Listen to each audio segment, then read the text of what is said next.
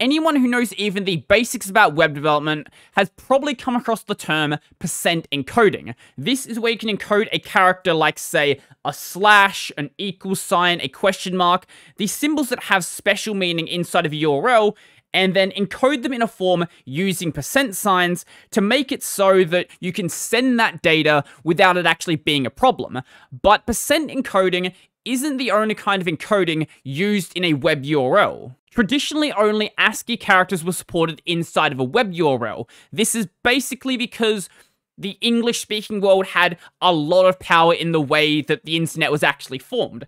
But I found out recently this isn't actually the case anymore, because since 1996 and slowly improving upon it since then until it was standardized in 2012, there has been a system being made up known as internationalized domain names. This basically allows you to take Unicode symbols and then have them in a URL but it's not as easy as it might sound. While there is no problem at the web browser level, web browsers have supported Unicode basically since the day it was created.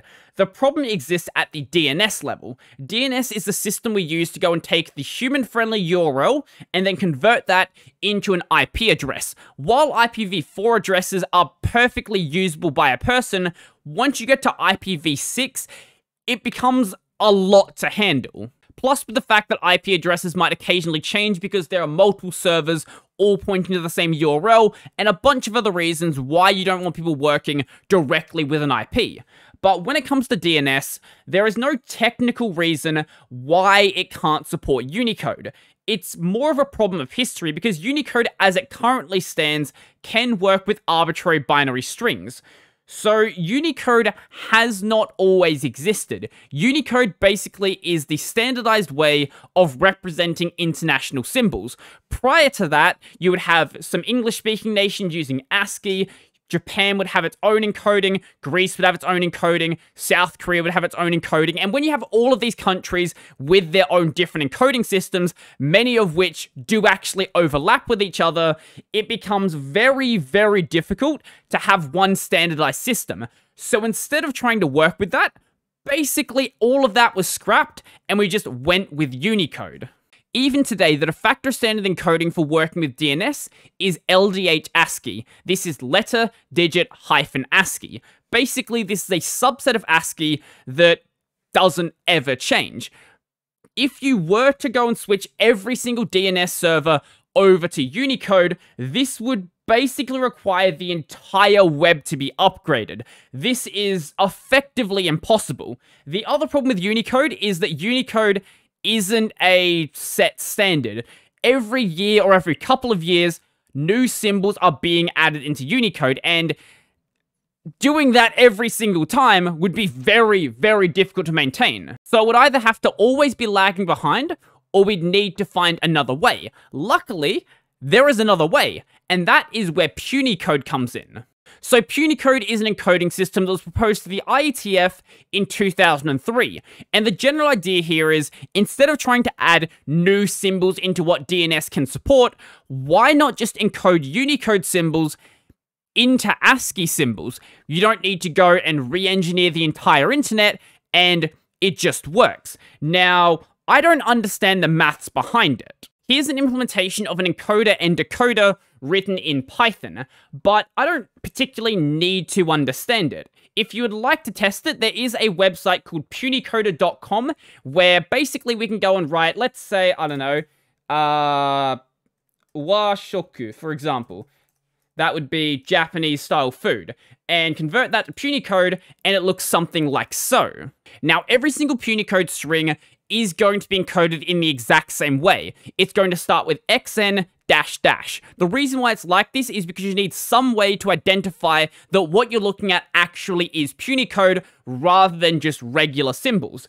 So Punycode isn't always going to activate for every single URL. If you have something that's, I don't know, just in ASCII characters, for example, like say, hello world, and we try to convert that into Punycode, that's not actually going to work. But if instead of doing that, we do hello world and then include some Unicode there, it is going to produce a slightly different result. As we can see, it sticks the ASCII inside of the Punycode string. Because there is a space there, if this was in a URL, it would also be percent encoded. Now, there is a set of symbols inside of Unicode that you might not expect can actually be used as a domain name. And those symbols are emoji.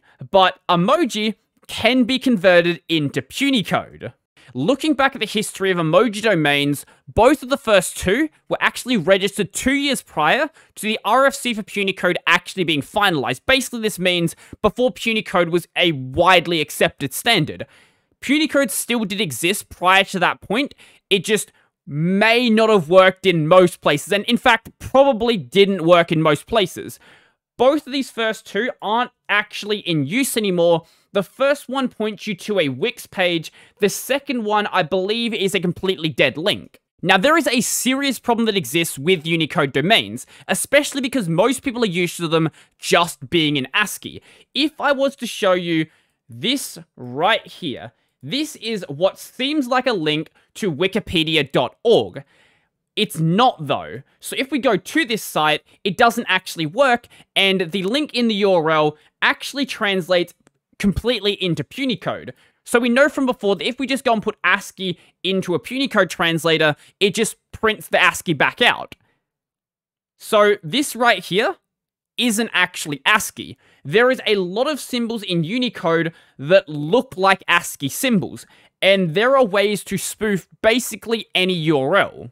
Depending on the browser you're using, it is going to change the way it interacts with these Unicode domains if you're using symbols that look like they might be ASCII symbols, for the most part, it's just going to dump out Punycode because if, like, some regular person sees a URL that is completely different from what they went to, hopefully that will show them maybe this is the thing you actually meant to go to. If it's something like, say, an emoji, though, usually it'll just show the emoji. Emojis can't usually be used to spoof real addresses. However, to ensure that spoofing can't happen though, the easiest fix for any company is to do the exact same thing PayPal has done when they bought PayPay.com.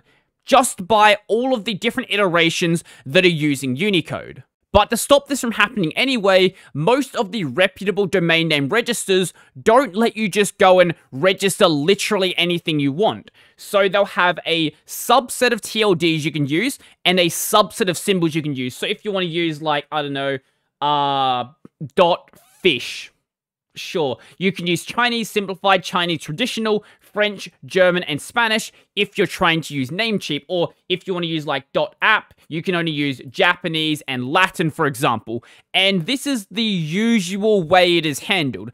Less reputable domain name registers might have different ways to approach it, but ultimately it can be addressed at the TLD as well. So a top level domain is things like .com, .au, .ca, .org, .fish apparently.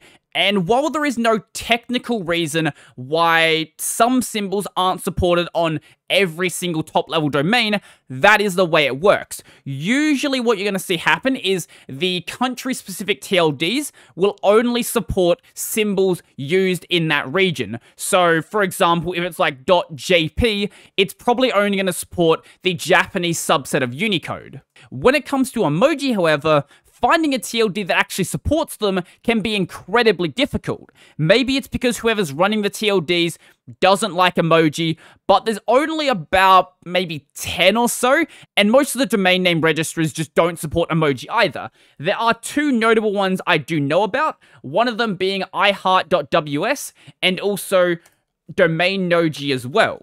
I'm not sponsored by either of these companies, and I haven't actually used their services before, so I don't know how well they actually work, but there's not many options out there if you do want an emoji URL. So I don't know, let's just search for this one right here. And it's probably already sold, so hey, oh, it's not sold apparently. $5 you can get uh Devil Burger, I guess. That takes us into the next problem, not just emoji URL, but general Unicode as well. So it's not going to be a problem for language specific stuff. If you have a, I don't know, a South Korean blog and you're using Korean symbols inside of the domain name. That's not going to be a problem for SEO. In fact, it might actually improve it. But when you have emoji, unless like your company is called Devil Burger, I guess. Like finding that URL is going to be a little bit harder. There are ways you can get around that by having proper tagging on your website and making it so it actually does show up properly on search engines like Google, but it is still going to affect the way your site actually is ranked. There's another pretty big problem with Unicode URLs, especially when you start getting into different languages. Not every language is like English and read left to right. Some languages are right to left. So how should that actually be represented? Should you show the URL as right to left? What happens if you have some left to right text and some right to left text in the same URL? What do you do about that? Do you like split it up across the entire screen?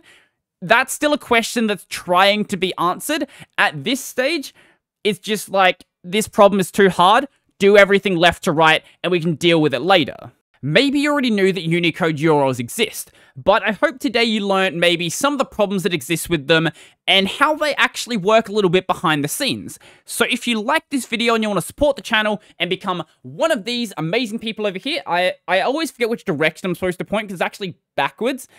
Uh, check out my Patreon, SubscribeStar, Liberapay link in the description down below. I've got a podcast called Tech Over Tea available basically anywhere. I've got a gaming channel called Brodie Robertson Plays where I live stream twice a week and upload about five or so YouTube shorts. And then this channel's available over on Odysee. That's going to be it for me, and I'm out.